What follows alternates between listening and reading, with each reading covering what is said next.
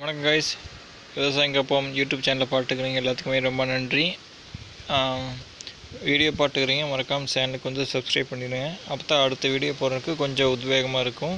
வாங்க இன்றைக்கி வீடியோக்குள்ளே போகலாம் இன்றைக்கி வீடியோக்குள்ளே என்ன பார்க்க போகிறோன்னு பார்த்தீங்கன்னா ஏற்கனவே வந்து கோழி எப்படி வளர்க்குறங்கிறது வந்து ஸ்டார்டிங்லேருந்து கோழி குஞ்சு வாங்குறதுலேருந்து எப்படி லாபகரமாக விற்கலாங்க வரைக்கும் சொல்லலான்ட்டு ஒரு கிளாஸ் ஆரம்பிச்சிருக்கிறேன்.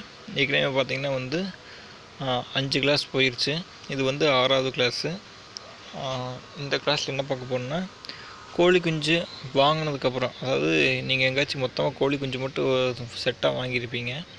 வாங்கினதுக்கப்புறம் அப்படி இல்லைன்னா வந்து கோழியில் வந்து முட்டை வச்சு அடை பொரிச்சிருக்கும் அப்படி குஞ்சு எடுத்திருப்பீங்க. அந்த அந்த ரெண்டு விதமான கோழிகள் குஞ்சுகளை நம்ம எப்படி காப்பாற்றுறது அதாவது பொரிச்சதுலேருந்து முதல் நாள்லேருந்து எப்படி காப்பாற்றலாம் அதுலேருந்து நான் இந்த வீடியோ வந்து உங்களுக்கு சொல்ல போகிறேன் அப்படி பண்ணிங்கனாவே கோழி வந்து இறப்பு வீதம் நூறு சதவீதத்துலேருந்து தொண்ணூறு சதவீதம் வரைக்கும் நம்மளால் காப்பாற்ற முடியும் கோழி குஞ்சுகளை. இறப்பை வராமல் அதாவது பத்து கோழி குஞ்சுகள் நீ வாங்கினீங்கன்னா அதில் ஒம்பது கோழி எட்டு கோழி உங்களால் வந்து காப்பாற்ற முடியும். இது ரெண்டு வந்து தவிர்க்க முடியாதது எப்படி இறந்துடும் நான் சொல்கிற மாதிரி பண்ணிங்கன்னா கண்டிப்பாக காப்பாற்றலாம் வாங்க இந்த வீடியோக்குள்ளே போகலாம்.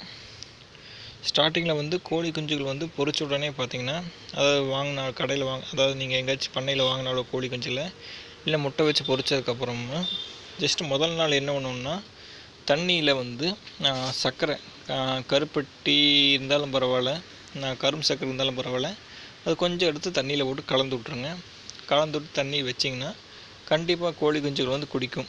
அது நீங்கள் வந்து நல்லா பெரிய பூசியில் வச்சிடாதீங்க. நம்ம நண்பர் பார்த்திங்கன்னா வந்து கோழி குஞ்சு குடிக்குன்னு சொல்லி இது இங்கே வருங்க. இதே மாதிரி ஹைட்டுக்கு வந்து போசியில் வச்சுட்டாரு. கோழி தான் குடிக்கும் தவிர கோழி குஞ்சு குடிக்காது. நீங்கள் கோழி குஞ்சு ஹைட்டுக்கு ஏற்ற மாதிரி வைங்க. கோழி குஞ்சு ஹைட்டுக்கு ஏற்ற மாதிரி சின்ன மூடியிலையோ பெரிய தட்டத்துலேயோ வச்சா போதும். நான் பாருங்க இந்த பிளாக் கலரில் தெரியுது பார்த்தீங்களா? அந்த மூடியில் தான் வந்து கோழி குஞ்சுகளுக்கு வந்து தண்ணி ஊற்றி வைப்பேன். ஹைட்டு கரெக்டாக க இருக்கும். அது மாதிரி வச்சிங்கன்னா பார்த்தீங்கன்னா கோழி குஞ்சு வந்து தண்ணி குடிச்சிக்கும். நான் சொன்ன மாதிரி தண்ணியில் கருப்பட்டி கலந்து வச்சிங்கன்னு வச்சுங்க. முதல் நாள் மட்டும் அது மாதிரி வச்சுருங்க.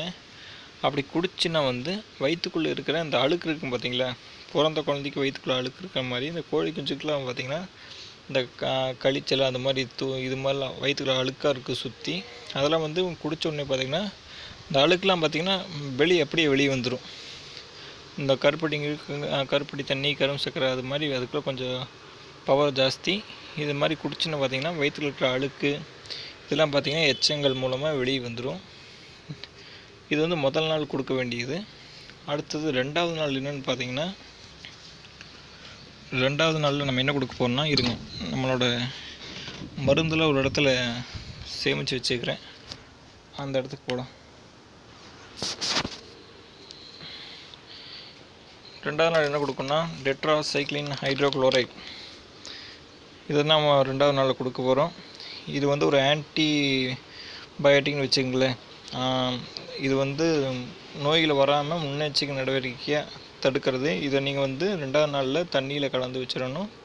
அளவு பார்த்தீங்கன்னா ஒரு சி- ரெண்டு விரலில் கொஞ்சம் எடுத்து நான் ஒரு மூடி காமிச்சேன் பார்த்தீங்களா? அந்த மூடியில் மாதிரி அந்த அளவில். அதாவது ஒரு லிட்டர் தண்ணியில் ரெண்டு விரலில் எவ்வளோ எடுப்பீங்களோ அந்த அளவுக்கு எடுத்து இந்த பொடியை தூவி விட்டு நல்லா கலந்து விட்ருங்க அப்படி கலந்து விட்டு வச்சிங்கன்னு வச்சுங்க அது த அந்த தண்ணியை கோழி குஞ்சுகள் குடிச்சுன்னா எந்த நோய்களுமே வராமல் நம்மளால் காப்பாற்ற முடியும். அப்படி நீங்கள் வைக்காம விட்டீங்கன்னு வச்சுங்க கண்டிப்பாக வந்து கோழி குஞ்சுகள் வந்து இறக்குறக்கு நூற்றில் எண்பது சதவீத வாய்ப்பு அதிகமாக இருக்குது ஏன்னா முதல் நாள் முதல் தடவை கோழி குஞ்சுகள்லாம் வந்து வளர்த்தும் போது பார்த்திங்கன்னா எந்த ப்ராப்ளமும் இல்லை. கோழி குஞ்சு வரைக்கும் அது பாட்டுக்கு வளரும் விற்றுட்டுப்பேன் இருப்பேன் திடீர்னு பார்த்தீங்கன்னா ஒரு ஒரு வருஷம் கழிச்சு பார்த்தீங்கன்னா திடீர்னு கோழி குஞ்சுகள் பொறிச்ச உடனே எல்லா கோழி குஞ்சுகளும் டப்பு டப்பு டப்புன்னு ரயிலாம் செத்து போச்சு. குறுகி நிற்கும் அப்புறம் இது பார்த்தீங்கன்னா திடீர்னு செத்து போயிடுச்சு. அப்புறம் ஒரு கோழி தான் ப்ராப்ளம் அதனால் அந்த கோழியை விற்றுடலாம் அப்படின்னு அந்த கோழி விற்றுட்டேன் அப்புறம் பார்த்தீங்கன்னா வந்து அடுத்த கோழி அதே மாதிரி தான் முடிச்சு அப்புறம் தொடர்ந்து ரெண்டு மூணு நாலு எல்லா கோழியுமே அதே மாதிரி.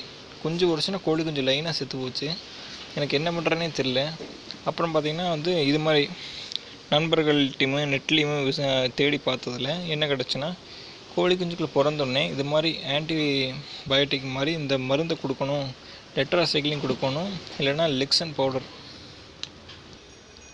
சாரி கேஸ் அதுக்குள்ள நண்பர் நண்பர் ஒருத்தர் வந்துட்டார். அதனால் வீடியோ பாஸ் பண்ணிட்டு போயிட்டேன். எதுலேருந்து விட்டேன்? லெக்ஸன் பவுடர் இல்லைன்னா டெட்ராசைக்கிள் அதான் சொல்லியிருப்பேன். அந்த ரெண்டில் ஏதோ ஒன்று வந்து நீங்கள் வந்து ரெண்டாவது நாள் தண்ணியில் கலந்து வச்சுருங்க. சொன்ன மாதிரி ரெண்டு விரல் எவ்வளோ எடுக்க முடியுமோ அதை எடுத்து ஒரு லிட்டர் தண்ணியில் கலந்து வச்சிங்கன்னா அதை குடிச்சுன்னா எந்த ப்ராப்ளமும் வராமல் கோழி குஞ்சுகளை உங்களால் காப்பாற்ற முடியும். இதை நானே என் அனுபவத்தில் தான் க- தெரிஞ்சுக்கிட்டேன்.